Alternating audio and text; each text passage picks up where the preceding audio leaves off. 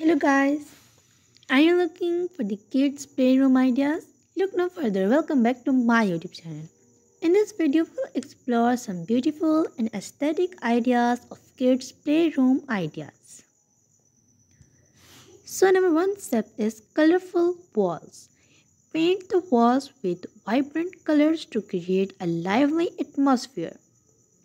You can also use removable wall decals or wallpaper to add a playful touch. Number two step is soft flooring.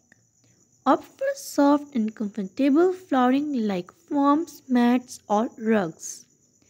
This will provide a safe and cozy space for kids to play and crawl around. Number 3 step is storage solution. Incorporate plenty of storage options to keep the playroom organized. Use bins, shelves, cabins to store toys, books, and art supplies. It's a great way to teach kids about tidying up. Number four step is Creative Art Corner. Set up an art station with a small table, chairs, and art supplies. Encourage your little ones to unleash their creativity through drawing, painting, and crafting.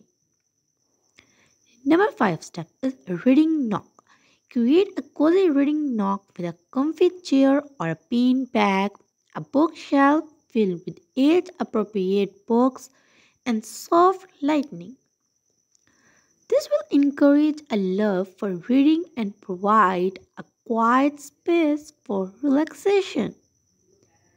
Number six step is imaginative play area. Set up a designated area for imaginative play such as play kitchen, dollhouse or a small tent. This will stimulate their imagination and allow them to engage in pretend play.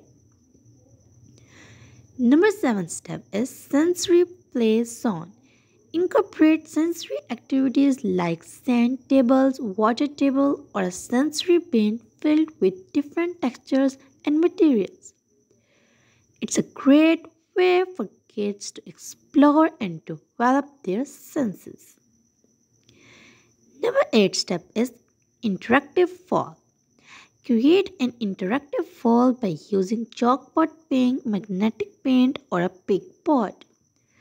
This will allow kids to draw, write and display their artwork or hang their favorite toys. Number 9 step is musical corner. Set up a music small corner with musical instruments like keyboard, drums or xylophone. Let your kids explore their music talents and have fun creating their own tunes. Number 10 step is cozy sitting area.